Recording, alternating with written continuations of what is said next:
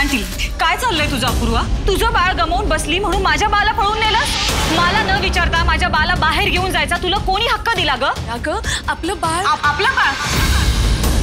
तुम्ही तिचं बोलणं तर आधी ऐकून घे.